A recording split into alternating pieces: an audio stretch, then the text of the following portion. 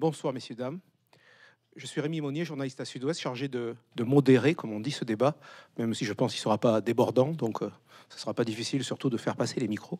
C'est assez impressionnant parce que je me trouve souvent de l'autre côté euh, et je mesure que d'ici on ne voit que du noir, à part quelques têtes du premier rang. Donc, euh, s'il y a des personnes que je connais, on se verra après.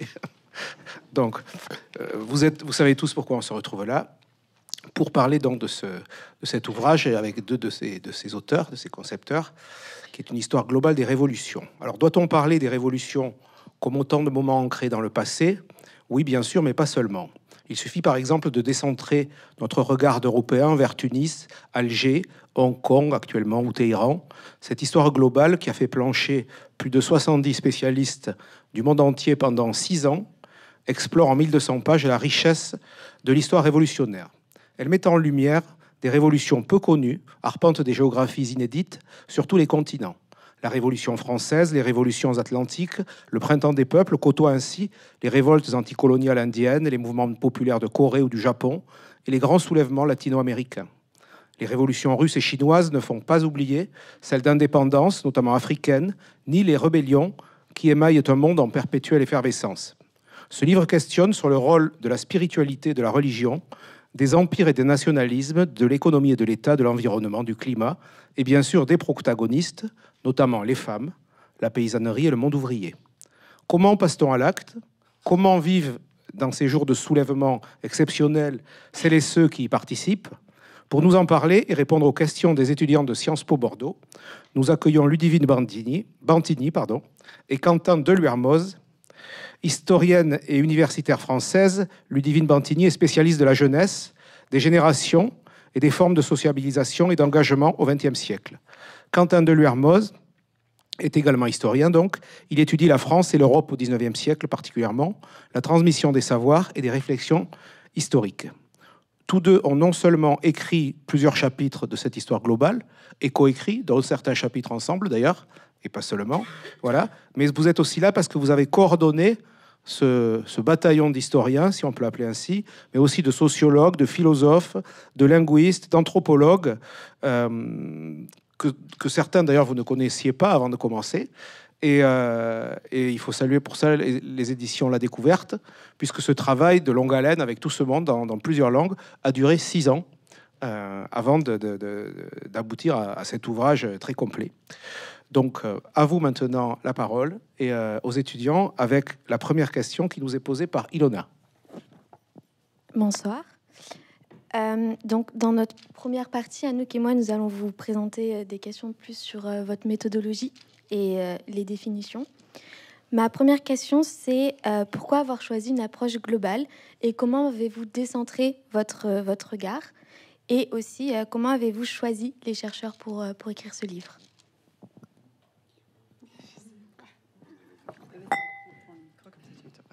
Euh, bonsoir à toutes et tous. Alors, on n'a pas eu les questions à l'avance euh, et on ne s'est pas non plus concerté. Du coup, on va se faire sans doute des politesses à certains moments. Euh, qui, veut commencer à répondre, etc.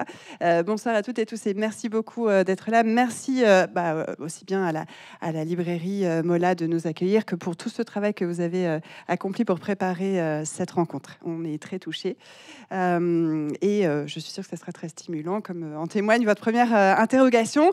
donc, oui, ben, on s'est dit que l'histoire l'histoire globale était euh, nécessaire pour l'approche euh, de l'histoire euh, révolutionnaire, dans la mesure où souvent ces révolutions puisent à des inspirations qui sont elles-mêmes très internationales, voire internationalistes, que les solidarités entre les peuples, les formes de fraternité sont souvent matricielles dans les révolutions, elles sont vraiment un socle constitutif, que les résonances, les influences, les, les, formes comme ça de circulation sont là aussi tout à fait crucial pour comprendre les révolutions. Donc, euh, il y a une première raison qui euh, indique que cette dimension globale, elle est en quelque sorte intrinsèque à cet objet, même si, bien sûr, il a pu y avoir euh, de longues études et une longue tradition historiographique qui était plutôt nationale et donc parfois même statocentrée, donc centrée sur certains États et certaines situations singulières. Donc là, on a voulu, bon, là, dire ça, c'est un peu banal de dire qu'on a voulu varier les échelles parce que c'est pas uniquement du global qui écraserait les situations situation, y compris dans leur finesse géographique, locale. Donc on s'est aperçu d'ailleurs que l'échelle nationale n'est pas forcément toujours la bonne pour comprendre les phénomènes révolutionnaires. la deuxième raison, c'est sans doute parce que l'histoire globale, alors croisée bien sûr avec bah, de l'histoire connectée, donc l'histoire des rencontres, des échos, des, des connexions comme, comme son nom l'indique, une histoire transnationale. c'est une histoire qui est particulièrement heuristique au sens où voilà, elle nous, elle nous fait réfléchir sur le plan d'une approche de sciences humaines et sociales.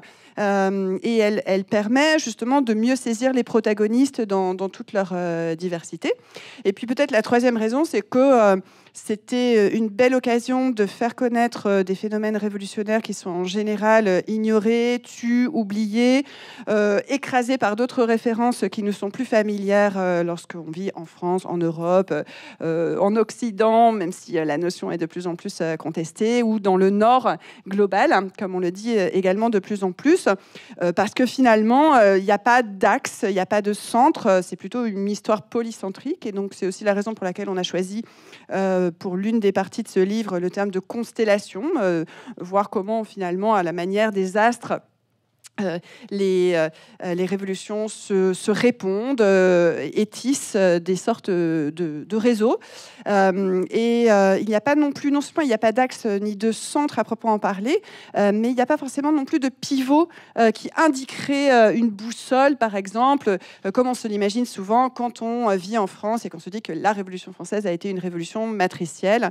en réalité, on essaye d'apporter vraiment des nuances historiques à ce, constat euh, qui, mérite d'être en effet rendu plus complexe. Euh, et à certains moments de notre histoire, euh, en particulier tout au long du XXe siècle, ce sont plutôt les Suds, avec une approche, on va dire, tricontinentale du côté de l'Amérique latine, de l'Asie et de l'Afrique. plutôt donc ces Suds qui ont donné des impulsions, qui ont donné des espoirs révolutionnaires à ce Nord global. Peut-être qu'on peut relancer par une question complémentaire pour tenir le, pour que chaque, pour qu'ils puissent poser toutes leurs questions en fait. Anouk prend la suite. Bonsoir madame, bonsoir monsieur. Votre, votre collègue, monsieur Boris Gobi, emploie l'expression dans l'ouvrage ni livre rouge ni livre noir. Ainsi, est-ce que vous seriez en capacité de nous dire s'il est possible d'être complètement neutre lorsque l'on parle de révolution? On aurait dû inverser les. Euh, bon, tout d'abord, je dois vous remercier, euh, moi aussi, euh, pour l'invitation, de votre présence, de vos questions, du gros travail que vous avez fait sur ce tout petit livre qui se lit évidemment en une demi-journée sans aucune difficulté. oui, ni livre rouge ni livre noir. L'idée, c'était surtout de sortir d'une espèce de d'historiographie un peu binaire, qui était un héritage de la guerre froide. Hein, en gros, avec soit les révolutions, c'est forcément un élément extrêmement positif, le moteur de l'histoire, soit au contraire euh, ce qui se fait de pire. Euh, mais ni livre rouge ni livre noir ne signifie surtout pas qu'il va y avoir une approche neutre des révolutions. un des grands, vous posez la question des, méthodologies. Nous, le type d'approche qu'on propose, donc c'est une approche connectée, processuelle, c'est-à-dire qu'on ne prend pas les révolutions comme des choses, et compréhensible, c'est-à-dire qu'on va essayer de se mettre à la place des hommes et des femmes qui ont qui sont investis dans ces dynamiques révolutionnaires extrêmement variées et ce qui nous a intéressé, c'est d'identifier cette pluralité d'étincelles et la variété des investissements qui ont pu être faits.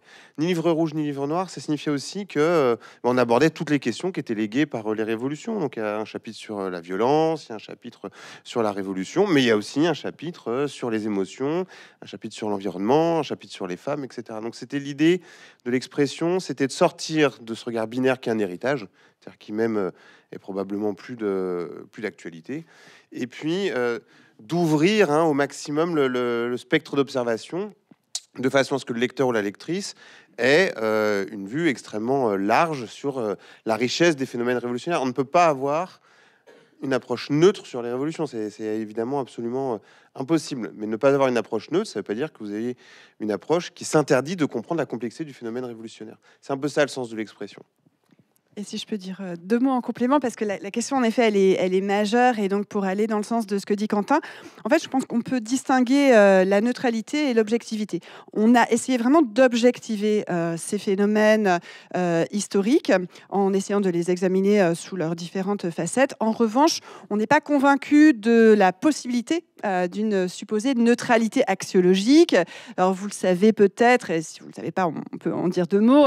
La notion de neutralité axiologique est souvent attribué à Max Weber. C'est l'idée qu'il y aurait une axiologie au sens d'un axe de valeur euh, qui irait par exemple du mal au bien, en tout cas qui serait euh, bipolaire, qui serait bipolarisé.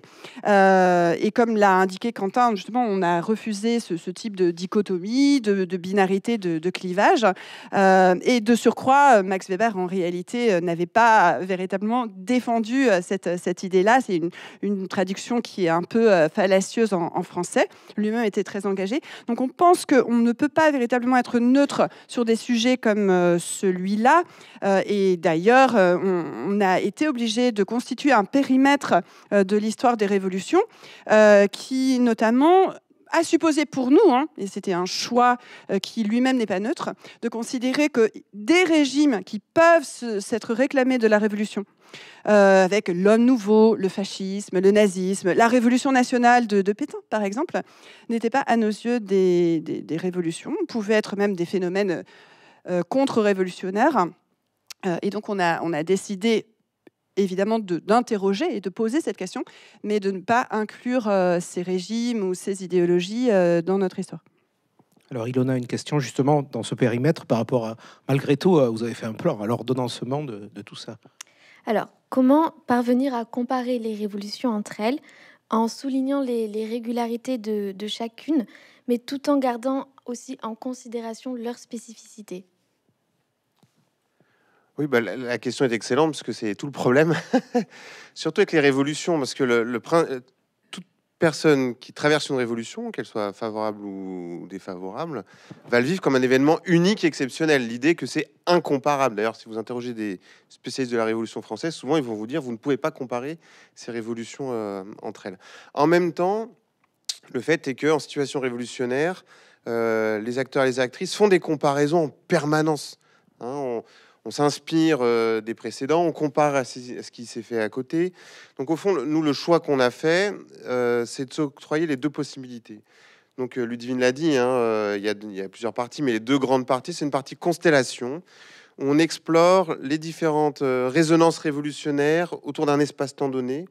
Et là, on est plutôt intéressé par la question des singularités, des diversités, des appropriations, etc. Mais comme ça, c'était pas suffisant d'en rester là. Euh, on a fait une autre partie qui s'appelle Traversée, où là, on fait une entrée par, euh, par notion, donc type violence, étatisation, l'homme et la femme nouvelle, etc. Où là, on a demandé aux auteurs et aux autrices de faire l'effort de la comparaison. Euh, et de faire la comparaison dans le temps et dans l'espace. Alors, ils pouvaient choisir le périmètre des révolutions. On leur a pas demandé de tout faire. Chaque fois, on a une petite spécialité. Mais néanmoins, d'essayer de trouver, je sais pas si c'est des régularités, mais en tout cas, euh, des, éléments communs qui permettent de, poser, la, de poser la question. Donc c'est ce double dispositif qui nous permettait de répondre à, la question. Le problème de la comparaison, si vous voulez, c'est que dès qu'on compare des événements, vous devez choisir des critères. Donc dès qu'on choisit un critère, on réduit la complexité de l'événement. Euh, par exemple, si vous voulez étudier, euh, je sais pas moi, la part des ouvriers dans les révolutions, vous allez avoir une définition de l'ouvrier qui ne correspondra pas toujours à la diversité des mondes ouvriers dans les différents espaces que vous allez croiser. Donc il y a un coût en fait. Et ça, bah, faut l'assumer. Donc, notre idée, c'est que les deux, euh, les deux démarches sont essentielles comprendre la richesse, le foisonnement des événements révolutionnaires, et en même temps se donner les moyens de comprendre euh, des éléments récurrents qui posent des questions sur ce qu'est une révolution, ce qu'est le politique, ce qu'est le temps, etc., etc. Voilà le double dispositif qu'on a mis en œuvre. Et d'autant que, puisque Quentin vient de parler de la notion de temps, c'est vrai qu'il y a cette singularité de chaque révolution. Et en même temps, euh, il y a une conscience historique, ce qu'on pourrait nommer une historicité euh, euh, de la part des protagonistes qui ont la conscience de s'inscrire dans une histoire des révolutions, qui souvent, sans forcément comparer ce qu'ils sont en train de vivre à ce qui s'est passé précédemment, mais qui, ont, qui puisent leurs inspirations, leurs, espoirs, leurs stratégies aussi à des révolutions précédentes. donc ils font allusion, ils font référence et parfois même font vivre en quelque sorte le passé dans le présent.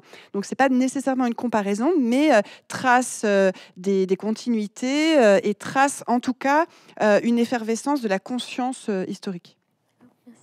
Justement, à propos de temporalité, Anouk Une question un peu complexe.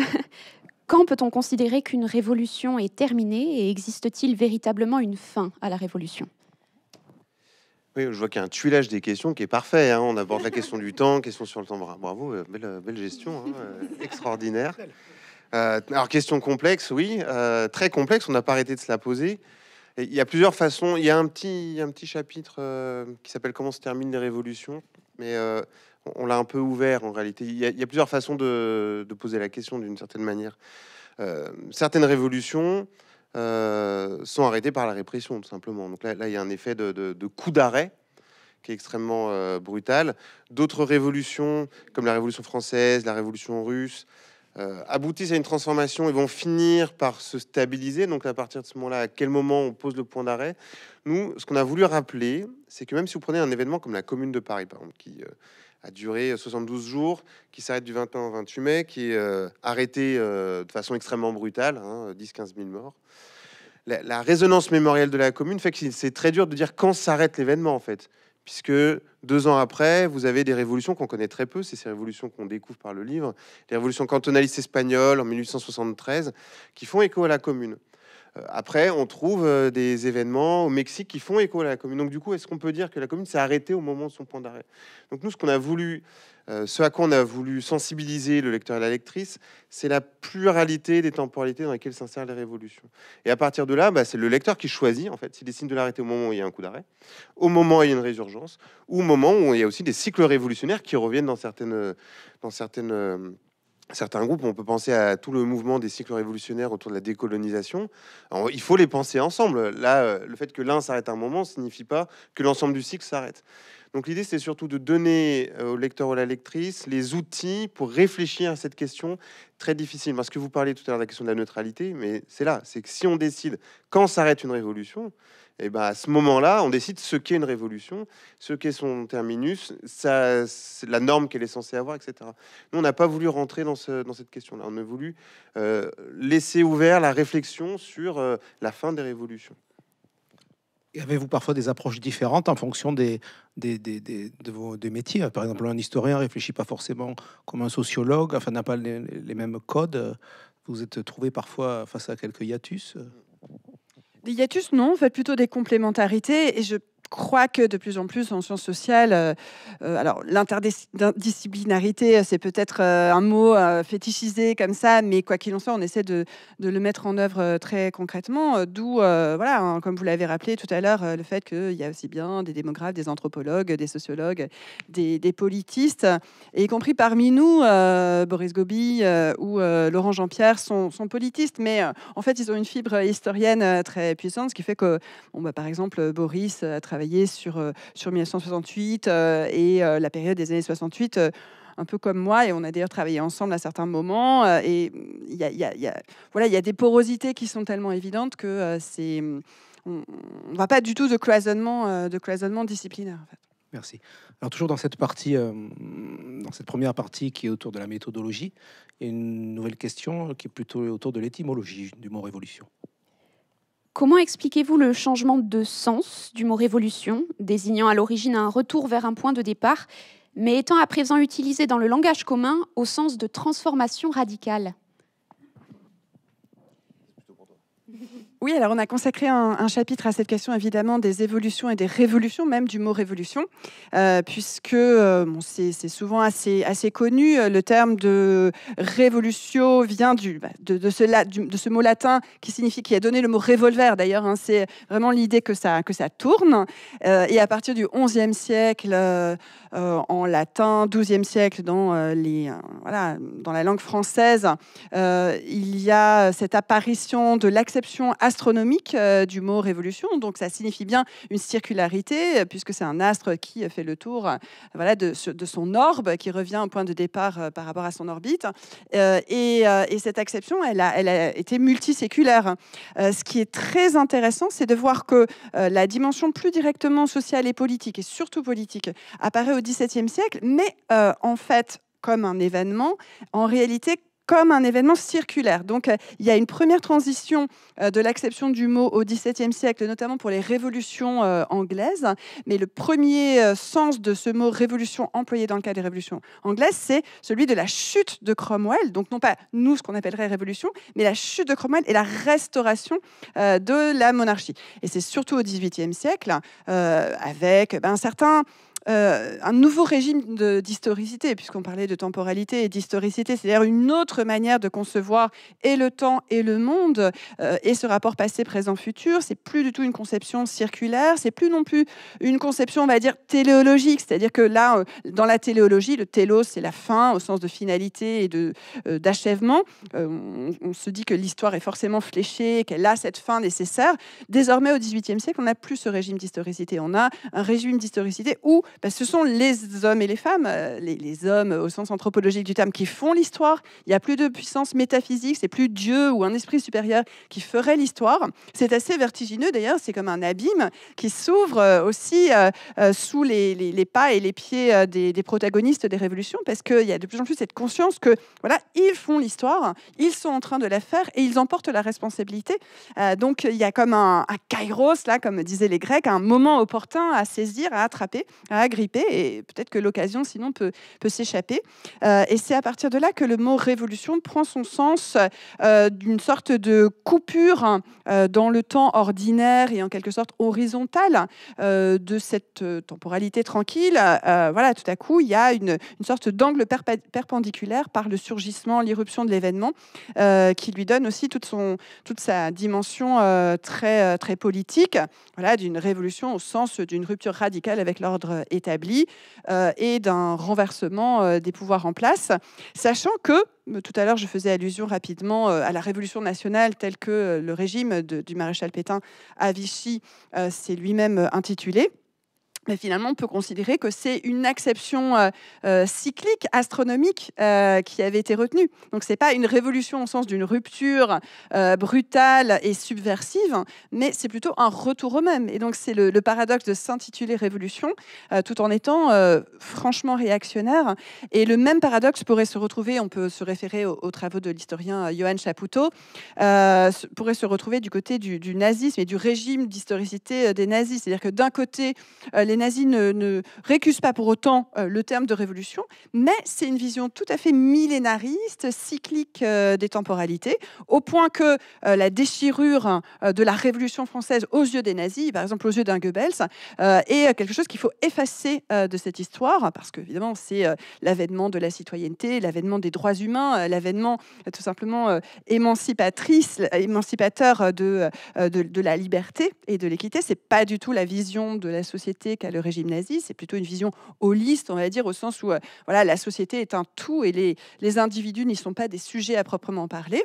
Euh, et donc, euh, finalement, voilà, c'est une acception du mot révolution qui est, qui est plutôt astronomique et c'est aussi la raison politique, idéologique, mais en l'occurrence aussi de, de, conception temporelle. c'est la raison pour laquelle on, a mis de côté ces, ces pratiques-là, ces idéologies et ces régimes, comme je disais tout à l'heure.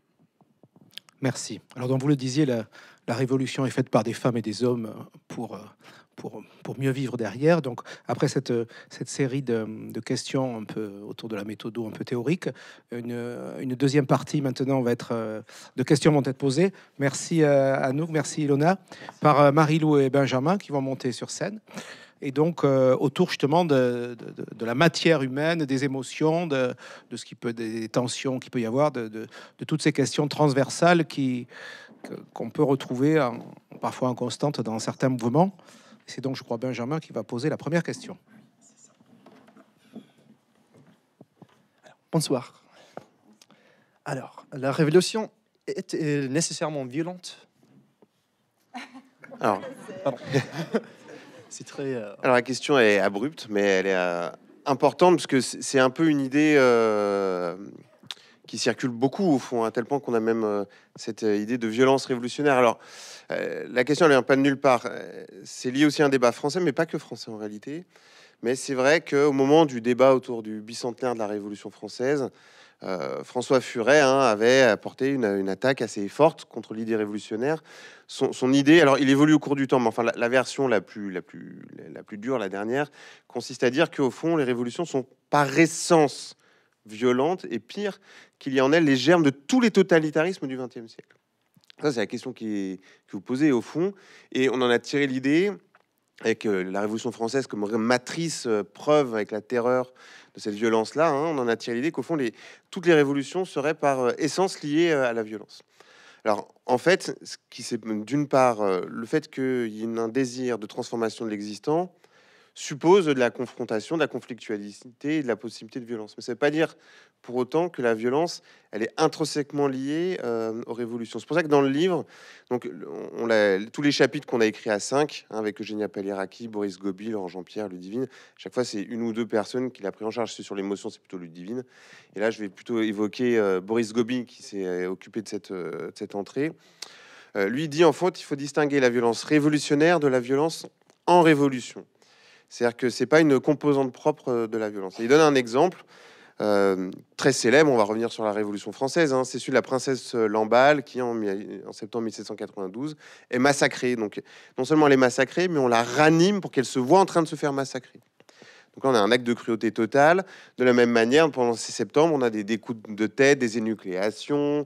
Euh, bon, donc on est vraiment dans l'ordre de la cruauté la plus terrible. On se dit, bon, bah oui, effectivement, là, il y a un problème. le souci, c'est que ces pratiques de cruauté, elles sont pas propres à la Révolution française. En fait, vous les trouvez dans tous euh, les, mobilisations populaires, les conflits depuis le XVIe siècle. Donc, c'est pas une invention de la Révolution française. Il y a plutôt une reprise d'une forme de violence euh, antérieure. Ce que change la Révolution française, c'est qu'elle va la politiser. Ça, c'est le premier point. Le deuxième point, c'est que l'imaginaire de la terreur va être si puissant par la suite qu'on a beaucoup de révolutions qui vont essayer de se définir par leur refus de la violence. Février 48, c'est une révolution qui s'est définie comme pacifique. La commune, au début, euh, c'est une révolution qui s'est définie également comme pacifique, au point qu'ils ont brûlé une guillotine pour signifier ça. Donc il y a aussi des révolutions qui se définissent par leur rejet de la violence. Alors pourquoi il y a de la violence à la fin? Donc ça, c'est la fin de, l'article en question. Parce qu'en fait, ce que montre euh, Boris Gobi, c'est qu'il y a des conditions de plus ou moins grande violence. Par exemple, si le groupe qui porte la dynamique révolutionnaire est plutôt isolé dans sa société, ça va avoir tendance à augmenter le degré de violence révolutionnaire si l'idéologie ou l'ensemble d'idées qu'il prône est totalisant, ça n'aura pas le même effet que si c'est une idéologie plutôt libertaire. Et surtout, à chaque fois, c'est la confrontation avec la réaction de l'État et des forces de l'ordre qui vont provoquer des phénomènes d'accentuation, de, développement de la violence. Donc en gros, il faut euh, défaire d'une certaine manière le lien naturel entre violence et révolution, ce qui ne veut pas dire que toutes les révolutions se font sans violence, c'est pas vrai, mais c'est que la violence est un des éléments d'une dynamique révolutionnaire, et ne s'arrêter qu'à elle, c'est s'interdire de comprendre la complexité de l'ensemble du processus de transformation qui est en cours à ce moment-là. Si je peux ajouter deux petits mots, parce que c'est une question en effet très importante, et, donc pour compléter ce que, dit euh, Quentin, euh, c'est une question brûlante, vraiment dans tous les sens du terme, mais euh, évidemment que c'était central à nos yeux d'y consacrer de nombreuses pages, plusieurs chapitres d'ailleurs, puisqu'il y a également un chapitre de Jean-Clément Martin, qui est un spécialiste de la Révolution française. Et donc, sa thèse, c'est que on ne peut comprendre ce phénomène de la violence euh, révolutionnaire euh, sans avoir en tête la violence sociale et politique euh, structurelle qui a précédé l'événement et contre quoi justement l'événement révolutionnaire réagit. Donc quand on parle de la terreur, c'est aussi trop souvent, malheureusement, en oubliant à quelle violence elle a, elle a répondu.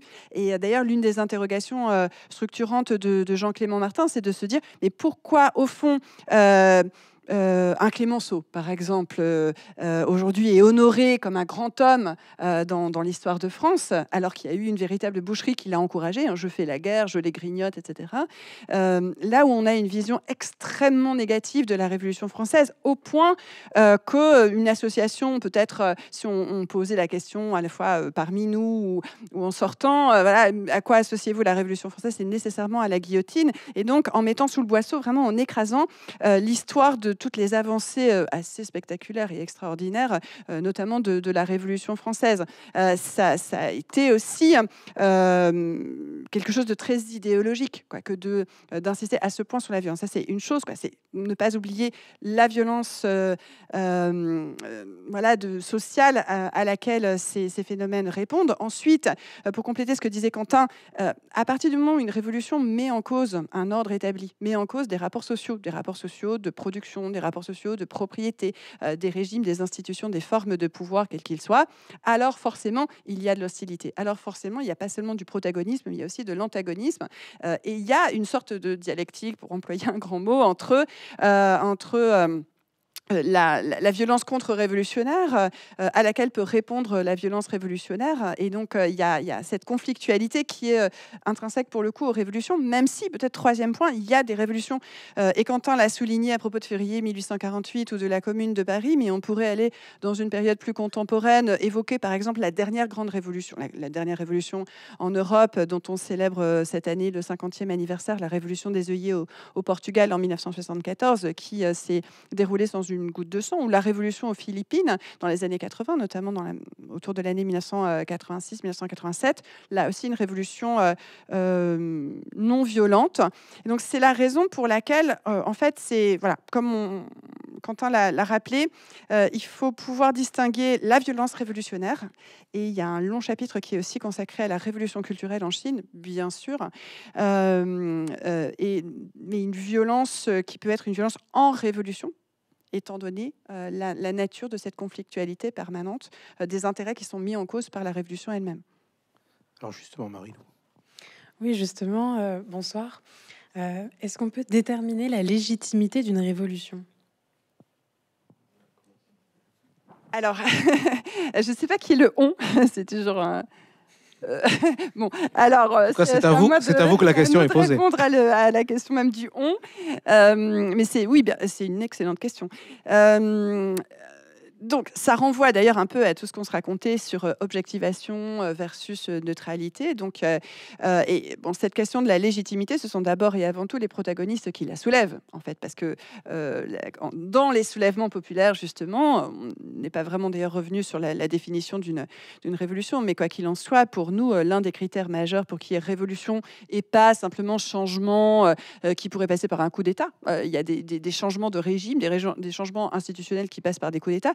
Pour qu'il y ait révolution, il faut un processus euh, qui est populaire, qui est de l'ordre du soulèvement. Euh, euh, ça, c'est l'une des conditions, mais il y en a d'autres. et en fait, évidemment que dans ce soulèvement populaire, le légal et le légitime sont, sont brisés dans leur, dans leur relation. On peut euh, Robespierre, d'ailleurs, disait que tout, finalement, euh, puisque certains de, ses opposants lui reprochaient et reprochaient euh, aux révolutionnaires les plus radicaux, au sens où ils allaient à la racine, de se placer dans l'illégalité.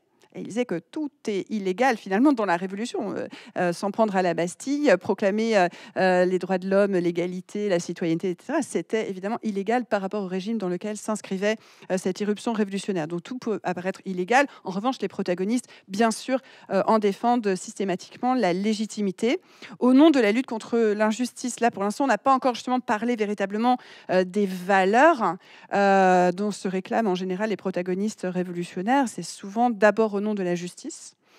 Euh, parfois, pas toujours, mais le plus souvent au nom, sinon de l'égalité, du moins de l'équité au nom de l'émancipation, même si euh, on y, on y travaille hein, plusieurs reprises dans, le livre, il peut y avoir euh, des formes, y compris religieuses, spirituelles, qui sont au sens strict réactionnaires, au sens elles puisent leurs inspirations dans un passé voilà, religieux.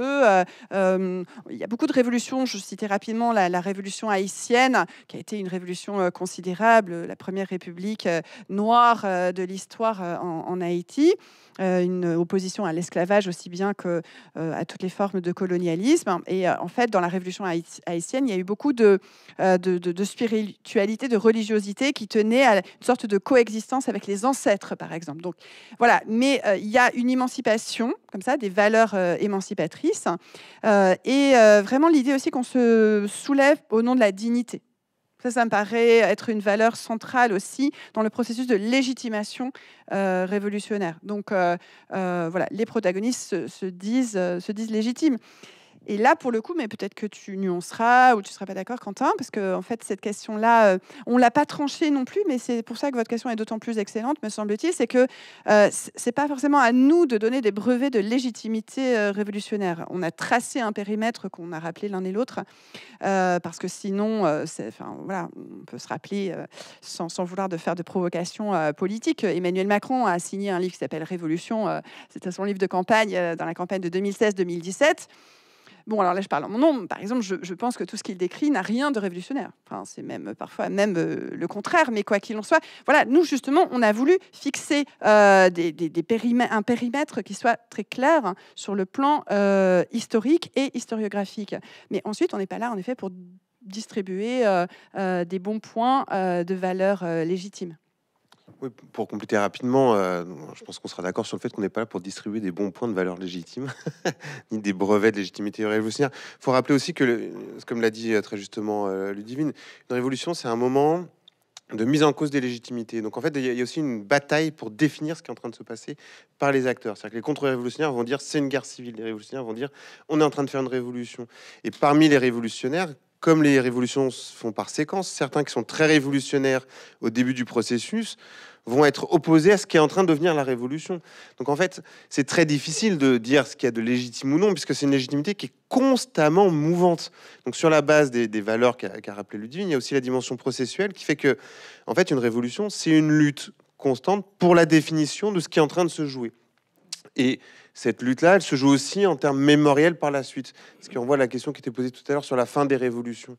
D'où euh, cet enjeu que nous, on a voulu faire, effectivement, de montrer comment, au cours de la Révolution, ou des révolutions, les questions de légitimité sont sans cesse reposées. Et comme l'a très bien dit Ludivine, ça peut aller très, très, très, très loin. Ce n'est pas que de l'ordre du politique, c'est de l'ordre du social, c'est de l'ordre des rapports de genre, c'est de l'ordre des rapports de production, etc.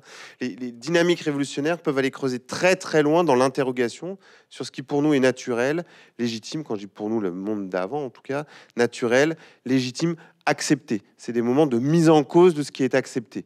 Et à partir de là, bah, la question de la légitimité se pose euh, après coup. Si je peux pas, parce que ça, me fait penser à ce qui se passe ici au musée de Bordeaux, comment le, musée euh, musée d'Aquitaine. Voilà, le musée d'Aquitaine. Je me souviens des, salles, en particulier la grande salle consacrée à la Révolution française. Bah, là, on voit qu'il y a un choix, justement. Il y a un choix de valeur, il y a un choix de légitimation. Quels sont les groupes sociopolitiques euh, qui sont euh, mis euh, en lumière, mis en évidence? Ça m'avait beaucoup frappé en le, visitant. C'est quand même évidemment, pour plein de raisons, les Girondins, et qu'on voit peu à peu disparaître du, tableau, du célèbre tableau, voilà, de, juste avant l'exécution d'un certain nombre d'entre eux. Et et voilà, c'est un, c'est un choix qui est un choix euh, aussi politique. C'est pas qu'un choix historique qui serait neutre. C'est voilà. Donc là, on, a quelque chose qui touche à, cette légitimation dont vous parlez, et qui, me paraît montrer euh, la difficulté à l'object, euh, non pas à l'objectivation historique, mais à l'objectivation mémorielle. Alors évoquer le musée, c'est c'est tendre la perche à Benjamin pour sa question. Non, mais vraiment, on n'avait pas les questions, on vous promet. Vous lisez mes questions, c'est pas possible. Alors, quelle est la puissance dont disposent les arts, particulièrement la musique, pour influencer, voire soutenir une révolution? Oui, alors on a, signé un chapitre euh, sur les arts et merci beaucoup parce que euh, c'est très bien de pouvoir l'évoquer. C'est pas toujours le cas. Euh, euh, parce que on considère toujours que, bah oui, il faut, parler des protagonistes, il faut parler de tout ce qu'on a déjà évoqué sur la, violence, etc. Mais euh, la question de la poésie, mais au sens, euh, là aussi, pardon, hein, j'ai pas l'habitude de, me référer tout le temps comme ça à des mots grecs, mais parfois c'est très utile. Et donc la poésie, au sens grec, c'est c'est la création. Voilà. donc il faut l'entendre dans le sens restreint de, de, la dimension littéraire et, et proprement de poésie des des révolutions, mais aussi la, la, dimension de l'imagination créatrice et elle-même émancipatrice. Ça, c'est très frappant de voir que bah, un moment révolutionnaire, c'est aussi un moment de temps en suspens, c'est un moment de temps extraordinaire au sens vraiment strict du terme, où donc le temps apparaît dans une d'une qualité différente.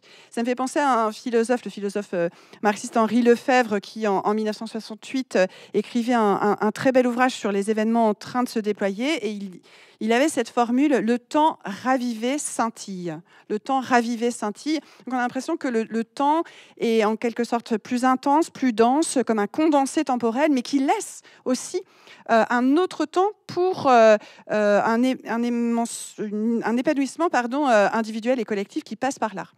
Euh, donc, euh, bon, bah, la révolution. Alors, Ensuite, ça pose plein de questions.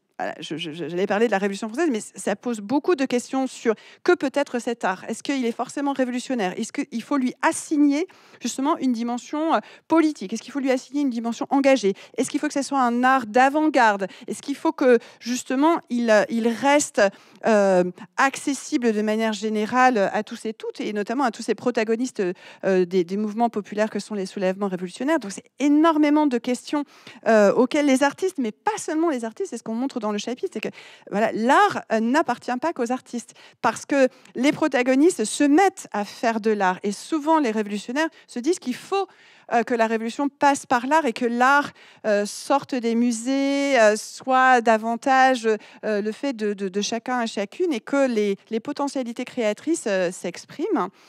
donc la question, c'est aussi celle du rapport passé, présent, futur. Est-ce que cet art doit être futuriste, pas au sens restreint du courant futuriste qui a eu peu à peu des tendances fascisantes dans, les années 10-20 surtout, mais futuriste au sens justement d'une manière de se tourner vers, euh, vers un avenir euh, espéré, souhaité, auquel on aspire Ou est-ce qu'il doit aussi s'imprégner de, passé? Donc tous ces débats ont vraiment beaucoup eu lieu. Alors par exemple dans la Révolution française, euh, qui s'inspirait beaucoup de l'art antique, un des moments très passionnants, c'est justement la Commune de Paris. Euh, Louise Michel, elle avait euh, des qualités artistiques, bon, euh, romancière, poétesse, mais elle s'intéressait aussi beaucoup à la musique. et elle, imaginait justement une musique d'un autre temps, une musique du futur, qui serait notamment fondée sur la dissonance, un peu ce qu'inventeront ensuite le, les, musiciens du, décaphoniste, euh, mais qu'elle, elle puisait aussi dans la musique kanak, par exemple, donc des, dissonances euh, d'instruments qu'elle qu'elle imaginait, voilà, qu'elle concevait euh, en lien avec cet imaginaire révolutionnaire. Et peut-être un moment qui est très passionnant sur le plan artistique, c'est celui de la jeune révolution russe, enfin de la Russie révolutionnaire puis enfin soviétique, puisque là on a une effervescence artistique vraiment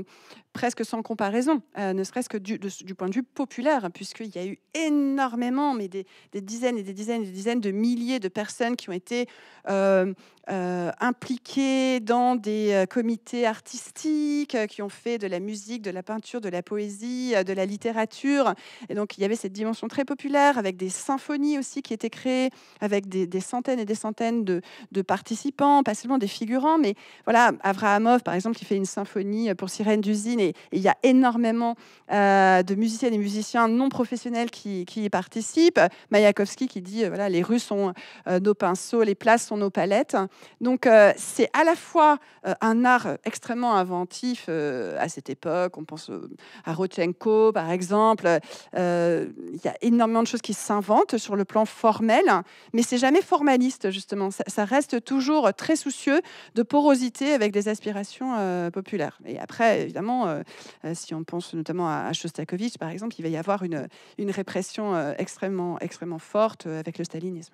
Alors Marie-Lou a une question euh, mémorielle qui, sur laquelle vous avez un peu mordu, me semble-t-il, dans votre réponse. Donc du coup, on se propose de la poser peut-être à Quentin quand même, pour, pour, développer le, pour, pour développer ce que vous avez commencé à développer. Oui, alors dans quelle mesure les émotions, les traumatismes causés par la Révolution construisent-ils la mémoire de cette Révolution? Oui, c'est une excellente question. Alors, émotion, moi. Je disais tout à l'heure hein, que les articles sont signés à plusieurs, euh, souvent un auteur ou une autrice principale. Vous avez bien compris que celui sur l'art, euh, c'était quand même Ludivine qui euh, s'en était occupé à, à, deux reprises. C'est la même chose pour celui sur les émotions. Alors, les émotions, c'est vrai que dans le livre, on insiste beaucoup sur cette dimension-là parce que très souvent, au fond, euh, euh, le lien entre les émotions et les révolutions est un peu euh, malaisé, en tout cas. Euh, Il y a au fond cette idée que l'émotion, ça renvoie à la spontanéité qui s'oppose à la raison. hein. la raison, elle est sage, et l'émotion, elle, elle est révolutionnaire, et donc du coup, on est du, dans, le registre euh, de l'irrationnel. En fait, euh, ce que montrent les travaux, déjà, d'une part, l'opposition entre raison et émotion ne tient plus, mais une émotion, ça peut être tout à fait raisonnable. hein. Le sentiment d'injustice, c'est une émotion qui euh, va vous mobiliser et qui s'appuie sur euh, des constats, des réflexions, etc. Donc au fond, les émotions étaient largement revalorisées dans la dynamique révolutionnaire elle-même. Et en fait, il y a un chantier qui s'est ouvert parce que euh, les émotions, on pense souvent aussi que c'est quelque chose qui est très personnel, mais en fait, les, solidarités, c'est des émotions collectives aussi qui se mettent en œuvre. De la même manière, les émotions de type euh, euh, la peur du complot, euh, la crainte, tout ça sont des éléments qui vont accélérer certaines dynamiques révolutionnaires. Timothy Tackett vient de sortir un livre qui s'appelle L'anatomie de la terreur, qui revient un peu là-dessus. Donc du coup, les, les émotions sont des éléments à part entière de de l'événement révolutionnaire, mais pas seulement comme un élément euh, dénigrant. Hein, À tel point que certaines révolutions vont essayer de penser de nouveaux registres émotionnels. Alors, on a beaucoup parlé de la Révolution française. C'est vrai que pendant la Révolution française, on pense qu'à la terreur, mais on oublie que les premiers révolutionnaires, ils ont essayé d'imaginer des rapports harmonieux entre les individus, transparents, fondés sur la sincérité, parce qu'on voulait s'opposer au maniérisme aristocratique. Donc l'émotion peut aussi être un projet politique au sens fort. Et on retrouve ça également euh, dans le cas de, de- de- des premiers temps de la Russie euh, révolutionnaire dont, dont tu viens de parler. Ce qui fait que du coup, l'émotion, elle est euh, évidemment porteuse de mémoire pour la suite. Alors vous en avez évoqué deux types, la question du traumatisme, la question de, l'émotion positive. C'est- pas tout à fait euh, les mêmes. Alors la question du traumatisme en histoire, hein, c'est une vraie question également. C'est une notion qu'on emprunte à la psychanalyse. Donc on fait très attention à pas appliquer des notions trop du présent sur le passé, mais il n'en demeure pas moins que certains euh, acteurs ont été choqués par ce qu'ils ont vu et éprouvé à ce moment-là. Et le traumatisme, ça peut vous faire taire aussi. hein. C'est-à-dire ça, peut imposer euh, le silence. Mais dans les dynamiques révolutionnaires et mémorielles, ce qui est intéressant, c'est un peu ce que faisait Ludivine tout à l'heure, c'est que dans les moments révolutionnaires, on va se remémorer les révolutions passées et on va les associer à une émotion. C'est cette émotion qui va être motrice. Par exemple, si vous prenez euh, euh, la révolution de, de 1848, puisqu'on l'a évoqué un petit peu tout à l'heure, l'idée c'est de retrouver les promesses non advenues de la Révolution française. Donc on se place dans leur continuité et de les réactiver pour faire une meilleure révolution que ce à quoi aboutit la Révolution française, qui a été un petit peu décevante de leur point de vue. En tout cas, il y a deux types de projets révolutionnaires. Il y en a un qui est pacifique, l'autre qui est beaucoup plus social. Et ceux qui sont beaucoup plus social estiment qu'il y a quelque chose qui a été oublié, abandonné hein, dans la Révolution française et qu'il s'agit de, remobiliser. Ici, l'émotion, c'est un moteur de mémoire et c'est une mémoire qui est une motrice d'action. Une bonne partie de cette émotion révolutionnaire, la question c'est comment elle se transmet dans les moments non révolutionnaires. Eh bien, de, mille manières différentes. Euh, Il y a euh, les artistes, il y a euh, tous ceux qui essayent de maintenir vivante euh, cette dimension-là, mais aussi ce qu'on se rend compte, c'est que, y compris la culture populaire, les gravures, euh, les tableaux portent en réalité des palimpsestes mémoriels et des éléments qui ne suscitent absolument rien en situation ordinaire vont faire sens au moment révolutionnaire. Donc il y a des émotions qui sont tapies dans euh, les recoins de la culture populaire euh, la plus partagée, y compris euh, actuellement. Je vous propose qu'on inverse les deux dernières questions. C'est plus logique, me semble-t-il, que tu continues et, et tu finiras avec l'autre. Oui, voilà. sur la donc, tienne. du coup, justement, euh, quel rôle joue la Révolution française dans l'imaginaire révolutionnaire? Alors, je, je vais reprendre la parole. euh, Donc, moi, je suis plus 19e par ailleurs. et euh, Ludivine, même si elle a une connaissance euh, très vaste, est plus 20e un petit peu. Bon, euh, ce qui explique qu'on est plus à l'aise sur certains sujets que, sur d'autres. Alors, la Révolution française, le problème, c'est qu'elle couvre les deux, en fait. hein. ce que montre le livre, souvent, on nous pose la question. On nous dit, bon, euh, c'est super, votre, euh, votre histoire globale, là, mais la Révolution française, elle disparaît. Il n'y a pas un chapitre Révolution française. Donc, scandale, surtout en France, pas du tout, etc. En réalité, si vous regardez les occurrences sur la Révolution française, elles c'est les plus nombreuses. Alors, soit vous êtes de bonne humeur et vous dites bon bah tout va bien, la Révolution française est sauvée, soit vous êtes de mauvaise humeur, vous dites bon bah la dimension globale est ratée. En fait, vous mieux être de bonne humeur parce que ce que on peut constater, c'est que la Révolution française, c'est un événement qui a une dimension globale dès son déroulement.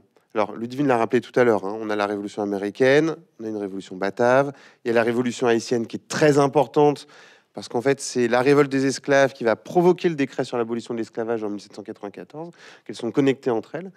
Mais c'est vrai que la Révolution française est, vraiment un des socles de l'affaire, et euh, ces références vont se répercuter dans le monde entier pendant toutes les révolutions euh, latino-américaines des années 1820, et on les trouve jusqu'en Inde. Hein. Il y a un sultan, Tipu, très célèbre, dans le Mysore, qui crée un club des Jacobins pour s'opposer aux Anglais. Et en fait, ce qu'on constate, c'est que toute nouvelle séquence révolutionnaire réactive la mémoire de la Révolution française, l'interprète de façon différente, mais en même temps la recharge en fait à, chaque fois. Alors un exemple qu'on prend souvent, c'est la Révolution jeune turque de 1908 où euh, ces jeunes Turcs donc, qui, qui s'opposent à l'Empire ottoman mobilisent l'imaginaire de la Révolution française, mais ils la comprennent comme une révolution constitutionnelle. Or, Ludivine nous a bien rappelé tout à l'heure, en fait, l'extraordinaire richesse qui a été la Révolution française. Mais eux, ils veulent y voir une, révolution constitutionnelle. Ils enlèvent la dimension anticléricale parce qu'ils trouvent que ça pose problème par rapport à la population qui est euh, la majorité musulmane. Mais ils vont y associer à ça la référence à la révolution russe, la référence à l'ère Meiji au Japon, pour dire qu'ils sont pas en train de faire une révolution qui copie simplement l'Occident. Donc, vous voyez, chaque fois, chacun se réapproprie euh, la Révolution française un petit peu à sa manière et la réinvente. Or, cette réinvention, vous la trouvez en Russie, vous la trouvez en Chine et vous la trouvez jusqu'à aujourd'hui dans le mouvement Black Lives Matter à Détroit. Euh, euh, les, militants, les manifestants chantaient Est-ce une révolte cire Non, c'est une révolution. C'est-à-dire qu'il y a une part de l'imaginaire de la Révolution française qui est encore présent aujourd'hui. Donc, nous, dans le livre, ce qui nous intéressait, c'était au fond de voir comment un événement aussi matriciel que la Révolution française l'est en lui-même, mais aussi parce qu'il n'a cessé d'être réinvesti et réinventé tout au long des 19e et 20e siècles jusqu'à aujourd'hui. Ce qui fait que la Révolution française, c'est un élément d'une mémoire littéralement globale, contemporaine. Il y a pourtant un mais que va soulever Benjamin.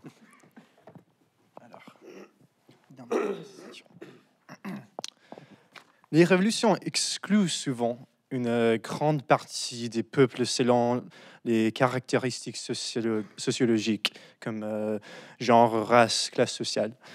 Aujourd'hui, pourrions-nous tous être révolutionnaires sans distinction?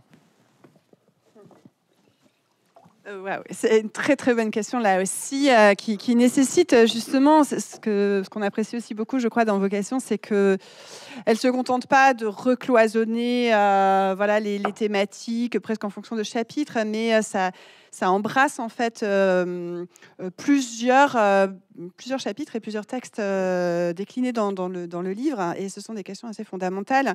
Donc, comme on l'a dit, pour qu'il y ait révolution, il faut qu'il y ait du peuple.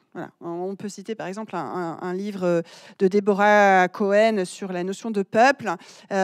comment on bascule d'une population au sens démographique, au sociologique du terme, à un peuple au sens d'une catégorie une catégorie politique euh, agissante qui justement met en œuvre des capacités euh, euh, à se montrer dans son protagonisme. en même temps, alors, dans, un soulèvement populaire, il y a cette force-là, mais celles et ceux qui se mobilisent sont parfois minoritaires. Et, et, surtout, il y a des espèces de turnover déjà. C'est une, chose qui, paraît importante, c'est-à-dire euh, de roulement euh, des, rôles. Euh, ça a été très bien montré, par exemple, dans le magnifique récit d'Éric Vuillard, 14 juillet, mais qui s'appuie sur des archives, hein, sur le 14 juillet 1789.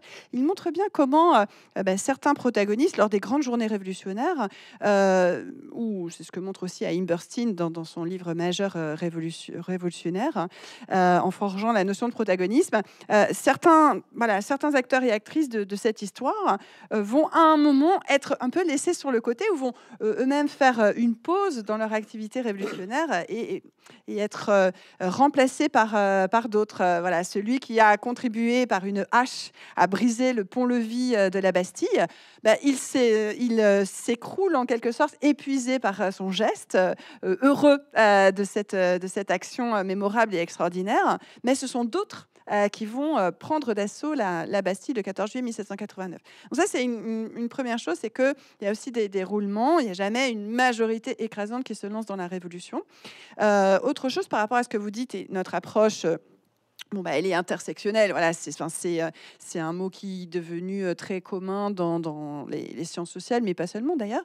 Euh, on, on a été très soucieux, je crois, de, de ne pas négliger les, les catégories que vous avez évoquées ici comme des catégories, encore une fois, heuristiques, au sens où elles donnent à, penser dans, les, dans cette approche historique et de sciences sociales. Donc, en l'occurrence, le genre, la classe, la race.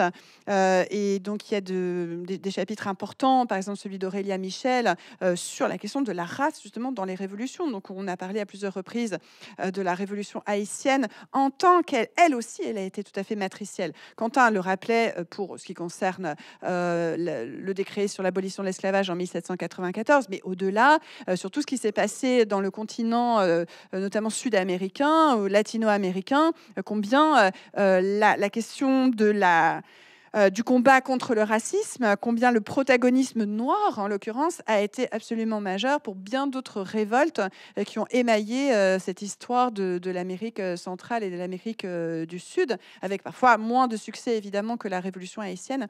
Donc voilà, les protagonistes sont, sont très divers et on a essayé de respecter aussi leur, diversité.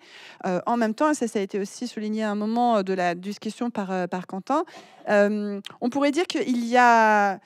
Il y a trois grandes catégories euh, dans, la population que, vous évoquez, parce que toute cette population ne devient pas nécessairement un peuple au sens, euh, encore une fois, politique du terme. Euh, Il y a celles et ceux qui mènent ces révolutions à certains moments de leur histoire, avec toute cette dimension de sédimentation temporelle qu'évoquait Quentin. Voilà, il y a des moments où on s'arrête. Il y a ceux qui s'opposent, et là encore, parfois les deux catégories sont peureuses, mais il y a aussi celles et ceux qui regardent. Voilà, celles et ceux qui regardent, euh, qui peuvent avoir des émotions diverses, euh, qui peuvent avoir des raisonnements divers. Euh, et, bien sûr, il s'agit de pas forcément négliger cet aspect de la population, voilà, cette partie de la population qui, sans être indifférente, peut être dans l'expectative et dans le tournant justement de l'hésitation. C'est en soi une question très intéressante sur le plan historique. Merci, du rythme, du bon rythme que vous avez pour répondre, tout en étant profond, ce qui permettra à la fin de, maintenir un, temps pour des questions de la salle, euh, puisque le public est venu nombreux. Donc, on va enchaîner par la troisième et dernière partie avec euh, Émilie et Tony qui vont nous rejoindre pour, euh, évoquer des études de cas de, certains pays, notamment, que vous avez déjà évoqués lors de, de la partie actuelle. Et c'est, je crois, Tony qui va commencer par la première question. Alors bonsoir. Euh, justement, vous évoquiez euh, Haïti. Donc euh, la première question, comment les révolutionnaires haïtiens se sont-ils emparés des idéaux révolutionnaires et comment l'ont-ils adapté à leur cause?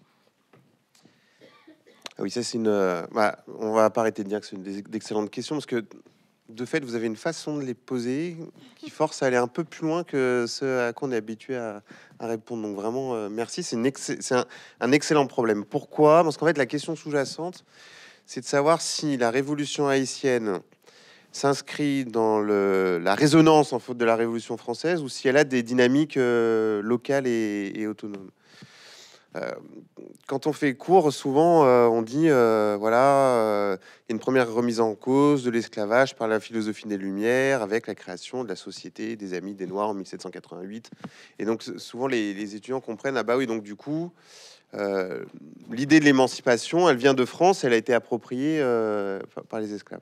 En réalité, ce que montrent de plus en plus les travaux, mais il a quand même fallu aller sur place, trouver des archives, il y en a très peu. Les langues parlées euh, sont extrêmement complexes. Haïti, c'est pas du tout un territoire homogène. Il y a plus, c'est très morcelé en réalité, même pendant la dynamique révolutionnaire, vous avez des, des espaces qui sont pas du tout gouvernés de la même façon, qui répondent pas du tout à la même logique. Mais de fait, ce, qui s'est passé, il y a plusieurs choses. D'une part, c'est que lorsque la nouvelle de la Révolution française arrive euh, en Haïti, euh, les esclaves commencent à, demander l'affranchissement, mais il n'est pas du tout accordé par, la France.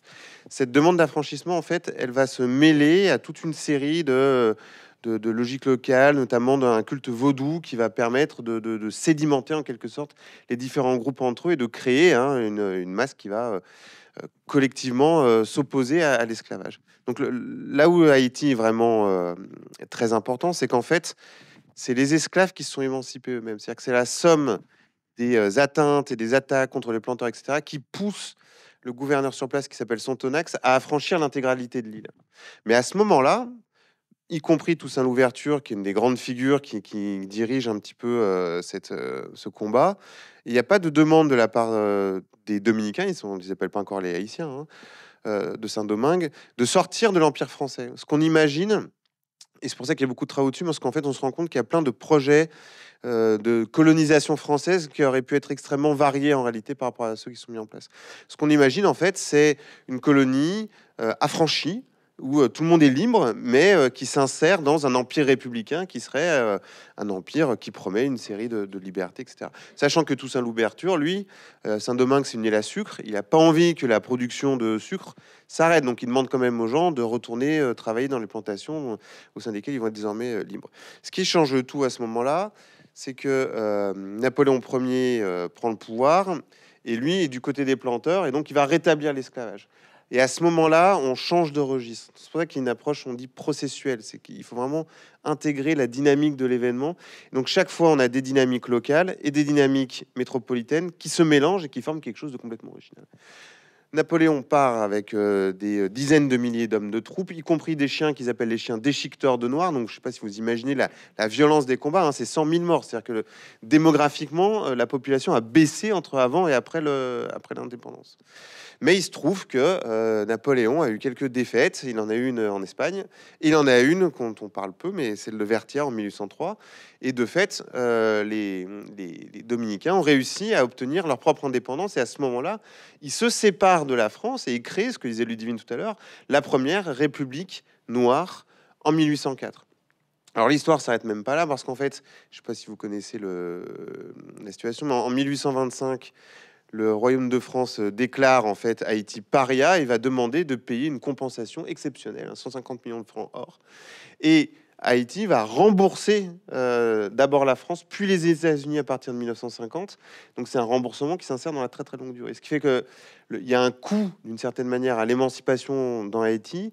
Et si Haïti est aujourd'hui dans des situations aussi catastrophiques, c'est aussi qu'ils n'ont jamais eu les fonds pour mettre en place les infrastructures nécessaires qui leur auraient permis de développer euh, des systèmes d'éducation, etc., etc. Donc, vous voyez, c'est l'histoire où toutes les temporalités se, euh, se croisent entre elles. C'est important que Bordeaux, je crois que c'est à Bordeaux, il y a une, une statue de Toussaint Louverture, un buste de Toussaint Louverture, c'est vraiment fondamental. Il faudrait aussi un buste de, par exemple, Cécile Fatiman, qui a, été une des protagonistes aussi de cette révolution. Euh, Alors, voilà, en général, maintenant, on commence à bien connaître le rôle de, Toussaint. Euh, et, ce, qui est, aussi fascinant dans les sédimentations mémorielles dont on a parlé, c'est que dans euh, sa cellule du fort de Joux, là où il meurt en 1803, donc un an après le rétablissement de l'esclavage par Bonaparte, il y a aujourd'hui un buste, une plaque, un hommage rendu par Haïti euh, au rôle de Toussaint Louverture. Euh, comment, voilà, celui qui était euh, considéré comme un ennemi euh, de la France, euh, voilà, voit son, son rôle se, se retourner euh, désormais. Mm. Émilie? Oui, alors euh, du coup, j'avais une question concernant la révolution haïtienne aussi, euh, comme vous l'avez évoqué, qui était très importante. Euh, comment est-elle parvenue à influencer les divers mouvements d'émancipation en Amérique, dans la région? Euh, en fait, comme on l'a dit et Quentin l'a rappelé, il y avait cette, euh, effervescence quand même d'une autodétermination euh, du côté euh, du refus de l'esclavage de la part des esclaves eux-mêmes. Ça, c'est toute l'historiographie aujourd'hui. En revenant notamment sur euh, l'histoire du marronnage, c'est-à-dire euh, l'histoire de ces esclaves qui ont réussi à s'échapper, qui ont pu fonder des communautés. Notamment au Brésil, mais pas seulement. Et c'est intéressant parce qu'il y a beaucoup de liens euh, tracés entre ces esclaves marrons. Alors, ça n'a rien à voir avec euh, du tout la, la- couleur de la peau. hein. Ça renvoie euh, au rejet de, de la domestication, euh, l'idée de marronnage. Euh, et ça vient justement d'une langue euh, autochtone parlée dans, l'île qui est devenue celle de Saint-Domingue, puis, d'Haïti. Donc, l'idée de, non pas de sauvage du tout au sens où l'entendaient les, les, colonialistes, mais d'une libération par rapport à la domestication. Et donc il y a beaucoup de liens entre ce, marronnage et y compris l'histoire des communs. D'ailleurs, voilà comment ces, communautés ont essayé de, rompre complètement avec une vision propriétaire, cadastrale de la colonisation européenne dans, ces territoires où il s'agissait justement de, planter le drapeau de la propriété. Donc, euh, euh, les, communautés marronnes de, ces, esclaves qui s'étaient échappés et qui avaient euh, forgé leur émancipation par eux-mêmes et par elles-mêmes ont, instauré justement ou réinstauré un, autre rapport au vivant et un autre rapport à, la terre dans une forme de possession collective et de biens communs, de manière de prendre soin de ces, de ces biens. Et donc, ça, ça, a été d'autant plus important de voir circuler dans une grande partie de cette Amérique-là, de cette Amérique esclavagiste, euh, cette, euh, voilà, cette, euh, cette mémoire du, marronnage et cette mémoire d'Haïti, au point que les colons esclavagistes ont tout fait pour récuser l'idée qu'il y aurait eu une révolution en, Haïti, parce que ça, ça leur a fait vraiment très peur, étant donné qu'il y a eu de très nombreuses révoltes qui ont jalonné, qui ont vraiment égrené le, le, 19e siècle, avec pour référence voilà, ce qui s'était passé en Haïti. Alors justement, Tony, en extrapolant à l'Amérique latine, vous, évoquiez, tout à l'heure aussi l'Amérique latine, on le voit avec l'actualité, c'est une région importante. Donc vous parlez dans votre livre d'un embrasement de l'Amérique latine. Selon vous, les révolutions sont-elles contagieuses?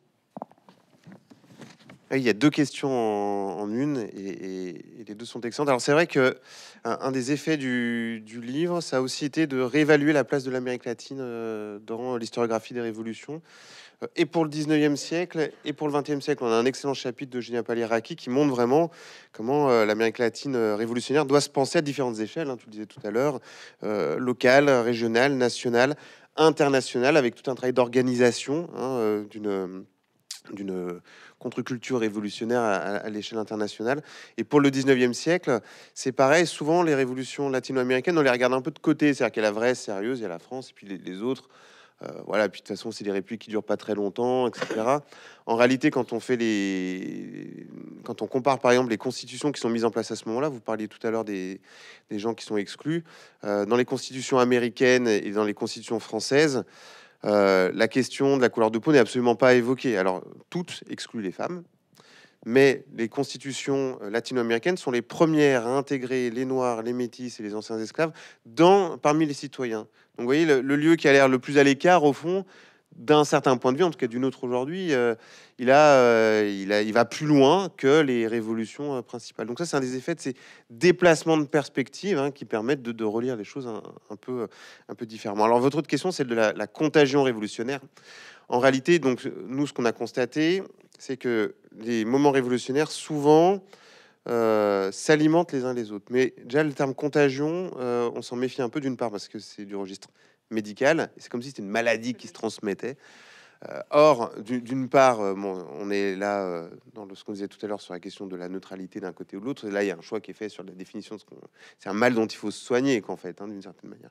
Et par ailleurs, ça ne dit rien de la façon dont les, les, les, pratiques et les politiques révolutionnaires circulent. En fait, il y, a plusieurs formes vous pouvez avoir un pôle, par exemple le Comintern en 1919, qui va euh, donner euh, de l'argent, des formations, des, qui va envoyer des personnes pour euh, exporter la révolution. Localement, ça se fait différemment, mais c'est pas la même chose pour, pour la Chine. Mais dans d'autres cas, si vous prenez 1848, on a des révolutions qui se copient les unes les autres quasi immédiatement. Euh, la France, euh, l'Autriche en mars, euh, l'espace germanique, etc. Et dans d'autres cas encore, on va avoir une espèce de, mouvement de fond d'un côté qui va générer des, des réactions assez lointaines en apparence et qu'on a du mal à analyser. On peut prendre l'exemple de la Chine.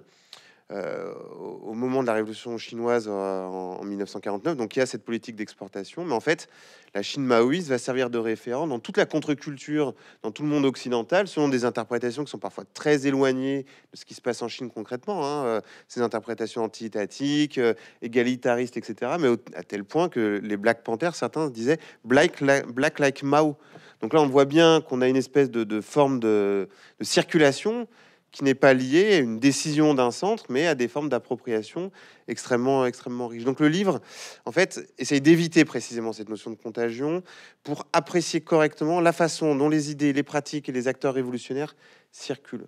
Un des, un des éléments qui ressort le plus nettement, et je ne sais pas si on s'y attendait tant que ça au début, c'est le rôle des empires coloniaux en réalité, qui sert vraiment de plateforme de diffusion euh, des idées, des pratiques et des transformations révolutionnaires.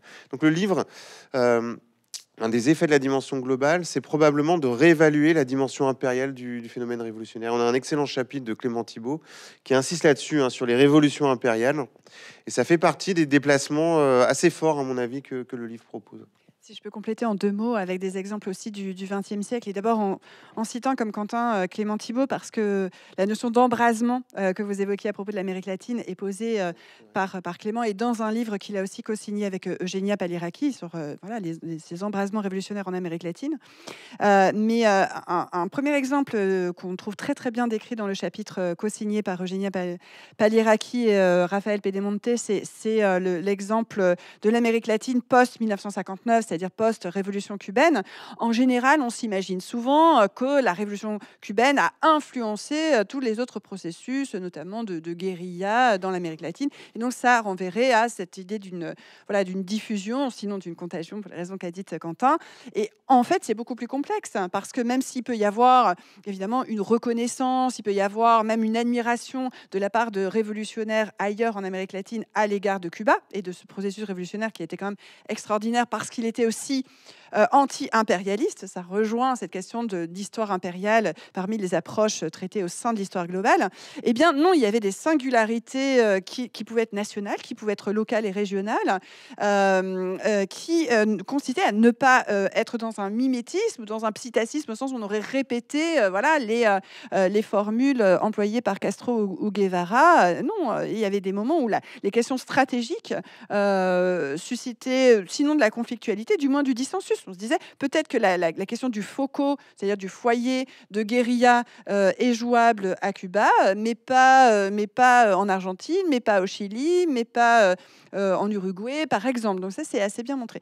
Et l'autre exemple qu'on pourrait citer sur l'embrasement euh, euh, en, en, Amérique latine, c'est le zapatisme. La question de la révolution mexicaine.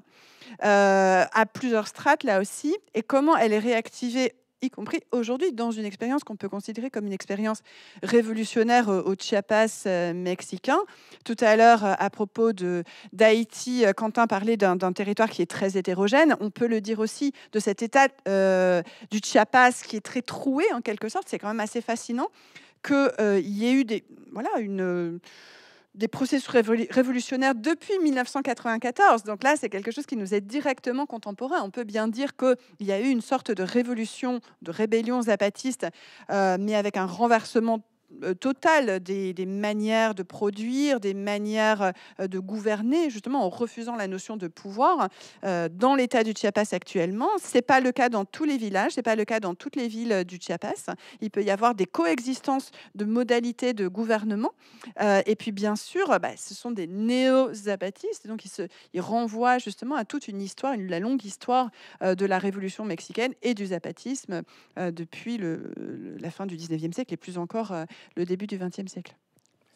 Et justement, une question un peu plus d'actualité concernant les événements récents en Équateur et au Chili, qui semblent montrer que la révolution n'est jamais bien loin. Comment vous percevez, euh, vous, ces événements? Disons que un des apports du, du livre, en fait, un, un des, tout à l'heure on avait commencé par le point de départ. Un des points de départ, c'est que si aujourd'hui on vous demande ce que vous entendez par révolution, en général on va vous dire voilà, il y en a quatre il y a la Révolution française, il y a la Révolution russe, il y a la Révolution chinoise, il y a la Révolution américaine, si on est à peu près informé. Et tout ça arrêté en 1989. Et nous, le, point de départ du livre, c'est de constater que ça ne s'est pas arrêté en 1989. Il y a eu les mouvements Occupy, il y a eu ce qui s'est passé en Congo, ce que vous avez évoqué tout à l'heure, il y a eu le Burkina Faso, il y a eu le Soudan, il y a eu le Yémen, etc. En fait, ce que montre le livre, c'est pas la banalité du fait révolutionnaire, c'est qu'en fait, euh, les phénomènes révolutionnaires reviennent de façon récurrente tout au long de l'histoire. Et, et c'est un peu le paradoxe, ces événements extraordinaires sont assez ordinaires à l'échelle de l'histoire globale. Donc de ce point de vue-là, euh, qu'il euh, y ait des résurgences et des, émergences révolutionnaires dans ces pays-là, ou qui correspondent en plus à l'histoire que, que rappelait euh, Ludivine. C'est-à-dire qu'on a des histoires locales quand même très fortes, très intenses, des remémorations extrêmement puissantes. Ça nous a pas tellement, enfin, ça nous a pas surpris, c'est absurde de dire ça. Euh, en fait, si, ça nous a surpris comme tout, tout événement révolutionnaire, mais d'une certaine manière, ça n'est pas euh, anormal ni absurde. Euh, tout à l'heure, vous posiez la question des sociologues. Alors nous, en tant qu'historiens, on n'est pas des prophètes, hein, on ne dit pas ce qui va se passer après. Les sociologues, ils ont moins de problèmes que ça. Ils posent, disons, des modèles et les modèles leur donnent des, des réponses. Jack Goldstone, il estime qu'on est rentré dans un nouvel âge des révolutions depuis les années 2000. Et il pense qu'il va y en avoir d'autres, très nombreuses, dont les formes seront parfois classiques, on vient d'en parler, d'autres probablement neuves. Et c'est vrai que le, processus constitutionnel au Chili fait partie des formes très intéressantes qui ont drainé beaucoup de, de chercheurs qui sont allés observer in situ ce qui était en train de se passer.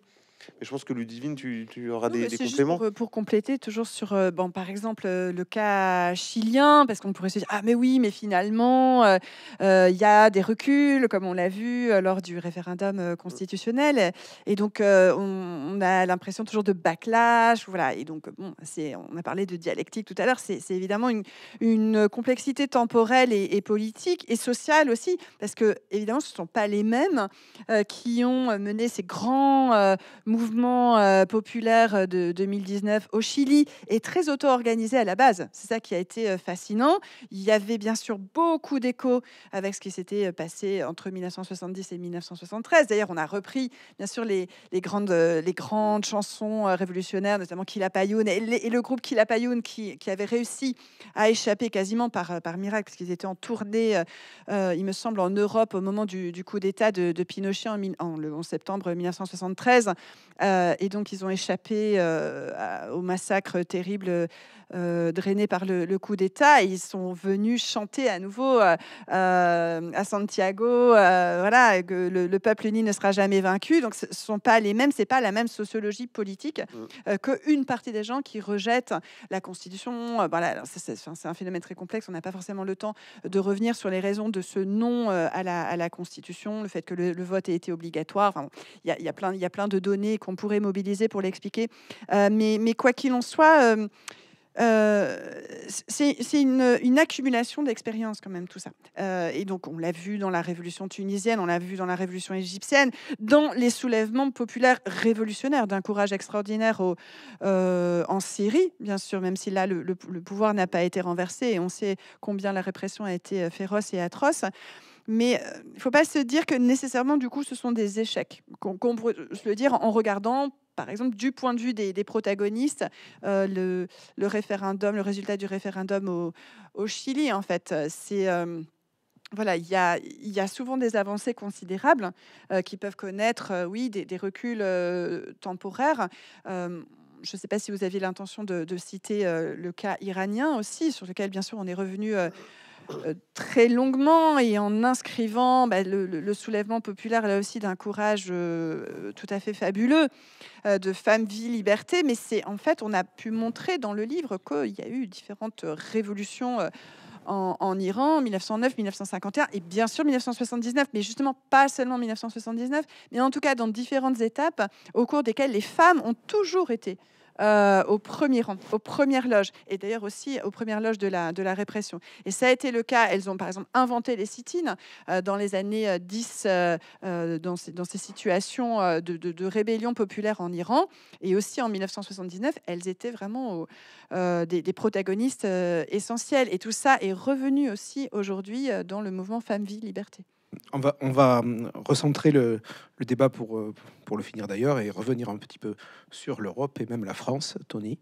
Donc un intérêt qui nous a suscité, euh, enfin ça nous a suscité beaucoup d'intérêt. On va recentrer donc sur mai 68. Euh, selon vous, euh, mai 68 constitue-t-elle plutôt une révolte ou plutôt une révolution? Voilà, vous avez la spécialiste. euh, enfin, en tout cas, j'ai passé plus, j'ai passé du temps pour essayer de comprendre ça, et puis euh, je trouve que c'est, bah, ça, c'est aussi fascinant parce qu'il y a aussi beaucoup de personnes qui ont, qui ont ici euh, participé à, à cet événement, et c'est pour ça que, enfin, comme pour tous les protagonistes, on, on essaie justement d'être euh, très respectueux aussi de, de l'avenir qui s'ouvrait, enfin, de pas avoir une vision justement de où, on- comme nous, on connaît déjà la fin, on peut refermer. euh, l'avenir qu'il s'imaginait finalement. et donc en, en, 1968, il y a eu une aspiration révolutionnaire, ça c'est sûr. Et d'ailleurs, le vocable de révolution était employé par beaucoup, beaucoup de protagonistes, même ceux qui voulaient absolument en retourner complètement la signification. Ça, ça boucle un peu la boucle par rapport à ce qu'on s'est dit tout à l'heure sur la sémantique et les évolutions de l'étymologie du nom et des acceptions du mot révolution, puisque, par exemple, il y avait euh, des jeunesses gaullistes, donc qui n'étaient pas du tout euh, des gauchistes, hein, par définition, quand même, euh, globalement politique, si on a encore quelques repères, et, mais qui disaient oui, mais venez faire la révolution avec De Gaulle. voilà. et donc, ce vocable, il était réapproprié, y compris par des forces qui, voulaient mettre fin à la grève générale avec occupation. et donc, pour ne pas esquiver la, question, bah, en fait, si on reprend notre définition de, de, la révolution, c'est-à-dire un soulèvement populaire, mais qui renverse euh, voilà, qui est à même de renverser euh, un pouvoir en place, un ordre social, voire un système socio-économique, même si on, on, distingue les situations révolutionnaires et les issues révolutionnaires. Il y a des situations révolutionnaires, y compris de dualité de pouvoir, qui ne débouchent pas sur une issue révolutionnaire avec un, renversement, justement, bah, on peut se dire que non, 68, il n'y a pas eu de révolution. D'ailleurs, euh, comme on le montre dans le chapitre euh, sur 68, évidemment, ça a été un moment global, pour le coup, ça a été un moment mondial. Il y avait vraiment cette conscience, d'ailleurs, de vivre un événement monde. Euh, mais voilà, il n'y a pas eu de, renversement révolutionnaire, et y compris le système capitaliste qui était beaucoup mm, pointé du doigt et radicalement affronté. la, la question aussi de l'anti-impérialisme qui était majeur dans les années 68, bon, il n'y a pas eu de, bouleversement euh, événementiel dans le sens d'un renversement. Donc, on peut considérer que c'est plutôt une révolte qui n'a pas débouché véritablement sur une révolution. Ensuite, si on, réfléchit à euh, une autre strate des temporalités, et sans pour autant que euh, la notion devienne trop élastique, trop extensive, euh, on peut considérer qu'il y a aussi des révolutions anthropologiques. Et, finalement, euh, on, y revient, y compris en, réfléchissant à, des révolutions d'avant le mot, à des révolutions y compris au cours de la préhistoire ou dans des sociétés sans État, etc. Il y a des révolutions anthropologiques au sens où des, des changements de valeurs travaillent, se diffusent, infusent dans la société sans qu'il y ait forcément de temporalité, de rupture de temporalité, comme ça, comme on le disait, un peu verticale. Euh, et, de ce point de vue, on peut considérer qu'il y a eu, à partir des années 68, une révolution anthropologique. On en parle aussi, et Caroline Fayol, qui signe un, très beau chapitre sur euh, les femmes dans les révolutions, euh, évoque bien évidemment cette dimension. La révolution, on peut considérer qu'il y a eu une révolution féministe. Alors, c'est jamais évidemment un événement, c'est jamais non plus une temporalité linéaire qui irait vers toujours plus d'accumulation accumulation euh, des, des, conquis, des conquêtes, des acquis, voilà, de ce qui est arraché par ces, par ces mouvements, puisqu'on sait bien qu'il y a malheureusement, pour le coup, on peut le dire, des, des backlash importants, des retours en arrière importants, mais il y a il y a bel et bien eu une révolution féministe qui est en partie euh, liée à ce moment 68, même s'il y a évidemment une pluralité de générations et une pluralité euh, de, de, moments dans ces, dans ces combats féministes, et on y est encore. Du coup, vous avez mordu un petit peu sur la question suivante. Du coup, peut-être que, Émilie, tu peux poser la question qui était prévue pour Tony. Euh, qui Tout à fait. Bah, je vais poser la dernière question, du coup. Euh, peut-on se sentir avec euh, le mouvement des Gilets jaunes, mais aussi maintenant des agriculteurs en ce moment, un frisson de révolution? Ça, c'est la question qu'on nous pose à, à, chaque fois, hein, sauf qu'on n'avait pas encore le mouvement des agriculteurs qui, s'y agrégeait. C'est évidemment une question hein, qui, est, assez difficile. Alors, euh, on n'aura probablement même pas les mêmes éléments de réponse. Ce qu'on peut dire quand même, c'est que on a euh, en France, mais pas seulement, une hausse de la conflictualité politique depuis une, vingtaine d'années, hein, qui est quand même très très nette. Et ce qui avait émergé en fait avec euh, avec les gilets jaunes, c'est deux choses. D'une part, c'est que c'était un mouvement qui échappait à tous les répertoires d'action qu'il en était habitué depuis 1945. Donc un répertoire d'action, c'est en gros, si vous voulez euh, protester, vous allez utiliser une série de gestes, de mots, de pratiques qui font qu'on va immédiatement identifier ce que vous êtes en train de faire. Faites une manifestation, vous allez prendre un trajet, vous allez avoir des banderoles, euh, vous allez avoir euh, des services d'ordre, etc. Les Gilets jaunes, ils ont investi des, non-lieux dont ils ont fait des lieux, et lorsqu'ils allaient à Paris, ils, ils n'annonçaient pas de, cortège, Euh, donc la police leur courait après, à droite, à gauche, etc. Donc ça, ça, a soulevé beaucoup de questions sur ce mouvement-là. Et par ailleurs, euh, c'est vrai qu'au moment des Gilets jaunes, on a une, résurgence des mémoires révolutionnaires. Alors c'est un mouvement qui est extrêmement divers, extrêmement varié, politiquement, socialement, etc. Mais a quand même une, une résurgence des, ré- des références révolutionnaires, et notamment de la Révolution française. Alors il y a la Commune, qui est également assez présente, mais la Révolution française est extrêmement présente, avec cette idée au fond qu'un peuple se soulève contre euh, un gouvernement euh, et une, pression du gouvernement qui, qui n'est plus acceptée. Est-ce que c'est révolutionnaire ou pas? C'est pas évident d'une certaine manière, mais ce qu'il vaut mieux observer, c'est d'une part la résurgence des phénomènes révolutionnaires, deuxièmement la forme. En fait, ce que montre l'ouvrage, c'est que depuis une dizaine d'années, euh, on a de nouvelles formes révolutionnaires qui qu'on observe en France comme dans le monde. Ces nouvelles formes révolutionnaires, elles essayent moins de renverser immédiatement le pouvoir. Elles essaient, ce sont souvent des mouvements qui se disent sans leader, comme c'était le cas des Gilets jaunes, qui vont s'approprier des espaces donnés au sein desquels on va essayer d'instituer de nouvelles formes de créativité, des relations plus égalitaires immédiatement, etc. C'est ce qu'on a dans le mouvement Occupy, c'est ce qu'on a dans le mouvement des ZAD, c'est ce qu'on a dans, tous ces mouvements-là.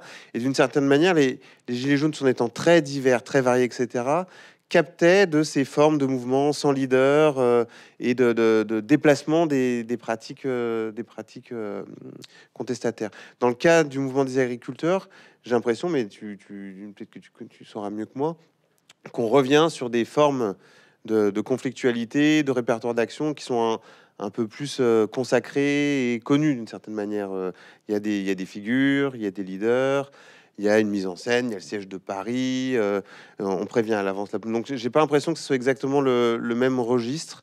Après, sur euh, la flamme révolutionnaire, le principe, c'est qu'on ne peut jamais deviner à l'avance. Hein, je vous rappelle les printemps arabes. Avant que les printemps arabes démarrent, on disait il se passe rien, c'est sous contrôle, etc. D'un seul coup, paf, ça émerge. Alors d'un seul coup, tout le monde étudie, il fait ah bah oui, on le savait évidemment, on se rendait bien compte qu'il y avait de la conflit. Donc s'il y a une révolution qui, démarre à un moment donné, on refera l'historique de toutes les conflictualités, de toutes ces, hum, accumulations d'expériences que tu évoquais, et on en fera la, cause en quelque sorte de l'événement révolutionnaire. Donc on ne sait pas dans quel euh, temps on est à ce moment-là. Le, le prétendre, ça serait, euh, ça serait euh, trop- probablement trop, trop prétentieux ou trop ambitieux. Est-ce que vous voulez dire que vous assimilez plutôt le, le- ce qui se passe en ce moment avec les agriculteurs, qui quand même ont marché, ont tenté de marcher sur Paris, c'est pareil. hein? Vous l'assimilez plutôt à, à une sorte de, de mouvement catégoriel, une, plutôt une révolte qu'une qu'une révolution, ou, ou c'est vraiment trop tôt pour savoir? Bah, oui, en tout cas, euh, dire, dire c'est trop tôt pour le savoir, c'est pas mal pour s'en sortir. Mais Alors, Les historiens n'aiment pas en général euh, euh, juger l'actualité. Si, si, ça, euh, On peut le on, comprendre. fait, on, fait, on fait le passé à partir de notre propre actualité, on étudie le passé à partir du présent et on essaie d'éviter de reporter sur le passé notre propres attentes du présent et d'utiliser notre connaissance du passé pour comprendre différemment le présent. Donc l'actualité n'est pas un problème d'analyse, simplement ce, travail-là nous apprend à être extrêmement prudent euh, dans nos analyses, tout en constatant qu'il y a des mouvements de fond qui actuellement euh, traversent la société française, qu'il y a des résurgences qui n'existaient pas avant, qu'on va revenir aujourd'hui, qu'il y a des formes de conflictualité qui reviennent, des formes d'opposition qui sont différentes de ce qu'on observait dans les années 80. Donc ça, bouge, il se passe des choses, c'est évident. C'est un peu comme si, de toute façon, ce protagonisme dont, dont on a parlé depuis tout à l'heure euh, euh, est quasiment inévitable. hein. On on l'a rappelé avec euh, Goldstone notamment, qui, qui dit que de toute façon, il y aura des, soulèvements euh, révolutionnaires. Alors après, il y a aussi euh, des menaces. Euh, J'ai coécrit avec Hugo Paletta un livre qui s'appelle Face à la menace fasciste. Bon, voilà, il y a aussi des, des formes réactionnaires, autoritaires. là, je parle de manière générale. hein, des formes même de, fascisation assez, claires. Donc on est à nouveau dans, dans une sorte de, situation extrêmement clivante euh, où la conflictualité est un, pivot euh, de, la politisation. Euh, là où je rejoins Quentin, c'est que là, ce mouvement des agriculteurs, il ne s'agit pas de botter en touche et d'esquiver la question, mais je pense que lui-même, on, on comprend d'emblée qu'il est extrêmement hétérogène. Il est extrêmement hétérogène, non seulement de par ses organisations qui n'ont pas du tout, finalement, non seulement les mêmes revendications, mais même le même système de valeurs. Voilà. Et donc, pour être très schématique, entre la Confédération paysanne et la FNSEA et ses déclinaisons départementales, on est dans des univers, dans des mondes, y compris des mondes sociaux parfois, mais en tout cas des, systèmes de valeurs extrêmement euh, différents. Euh, et donc ça, ça nous, paraît très, très important. Donc là, c'est peut-être difficile d'avoir un, avis tranché, mais en effet, quoi qu'il en soit, c'est une manière de subvertir des formes un peu traditionnelles de, de marge, de manifestation, puisque là, le, protagonisme, il se pose d'emblée à un, un certain degré de conflictualité, parce qu'on sait de plus en plus euh, qu'il faut un haut niveau de conflictualité pour obtenir euh, satisfaction sur des revendications euh, minimales. On l'a vu de par tous les échecs des mouvements sociaux qui se sont succédés ces dernières années, y compris quand il y a 3,5 millions de personnes dans la rue contre une réforme touchant aux, retraites. 3,5 bah, millions et demi de personnes et des manifestations et des grèves, certes par journée ponctuelle, mais ça n'a pas suffi. Donc là, on sent ça. Et pour revenir sur les gilets jaunes, d'ailleurs, il y, a plusieurs personnes ici dans la salle qui ont non seulement participé, mais réfléchi. Il y a un ouvrage euh, co-dirigé, euh, entre autres, par euh, Jean-Pierre Lefebvre, qui doit être dans la salle, Magali la Souda, sur les, sur les Gilets jaunes. Il y a eu déjà beaucoup de, recherches. justement, je parlais de valeurs. ce qui a été très important dans le soulèvement populaire des Gilets jaunes, qui avait des aspirations révolutionnaires, hein, parce qu'à certains moments, c'était révolution, révolution, révolution qui était scandée, euh, pas seulement à Paris où euh, il y a eu des montées vers, euh, vers le, Sacré-Cœur, mais au sens de, voilà, de rappel de la commune de Paris de, 1871, mais c'est un, système de valeurs qui venait réinterroger la démocratie quand même. Ça, ça a été très puissant c'est justice sociale, émancipation, dignité, beaucoup la question de la dignité, la question de l'auto-organisation populaire, prendre en effet des lieux qui étaient des lieux, euh, j'allais dire des lieux communs au sens vraiment, mais pas des lieux du commun, des lieux communs, des lieux banals, des lieux où il ne se passe rien, comme les ronds-points, euh, qui, finissent par être investis pour en faire des lieux du commun. Justement, on construit des cabanes. Euh, en Gironde, ça a été, ça a été quand même très, très fort. Hein. je me souviens par exemple de la, la cabane de Saint-Macaire. J'étais aussi très impressionnée, hein, plutôt dans le sud de Gironde, mais j'étais très impressionnée de voir aussi la qualité des savoir-faire qui étaient mis en œuvre, qui posait la question des solidarités, qui posait la question de l'hospitalité donc, et qui euh, se sont réinterrogés, encore une fois, sur la démocratie. Et ça, ça me paraît euh, très vivace et on ne pourra est dans ce sens-là, dans tous ces protagonismes populaires, euh, parce que euh, bah, nos régimes démocratiques sont affaiblis, mais qu'il y a aussi une forte réflexion, on pourrait même dire une réflexivité, une interrogation sur soi, une interrogation collective sur soi, sur euh, la manière dont on s'organise politiquement, et avoir voulu réhabiliter des formes de démocratie directe, des formes d'assemblée des assemblées notamment, voire de communes des communes, comme ça, comme ça a eu lieu notamment à Commercy dans la Meuse pendant le soulèvement des Gilets jaunes, eh bien, je pense que c'est une question qui va être euh, absolument majeur, à la fois politiquement et socialement, euh, aujourd'hui, mais dans les, années à venir, et ceci sans être pour autant euh, prophète ou prophétesse. D'accord, ben merci beaucoup. Merci pour, l'ensemble de vos réponses. Pour votre connaissance de notre département, de la statue de Toussaint l'ouverture, qui qui est sur la rive droite à Bordeaux, entre d'ailleurs le journal Sud-Ouest et Darwin, que beaucoup de gens connaissent ici. voilà. Merci aussi pour votre ouvrage, parce que vous avez réussi avec vos, nombreux collègues donc à, traduire vos connaissances de manière très pour les profanes de, vulgariser euh, de manière euh, très, accessible et ça c'est appréciable parce que on peut le lire euh, peut-être pas comme un roman mais en tout cas comme quelque chose de très accessible si on a effectivement beaucoup de temps, comme vous l'avez dit au début, je pense que maintenant on peut passer aux questions de la salle je ne sais pas trop comment ça se passe. Euh,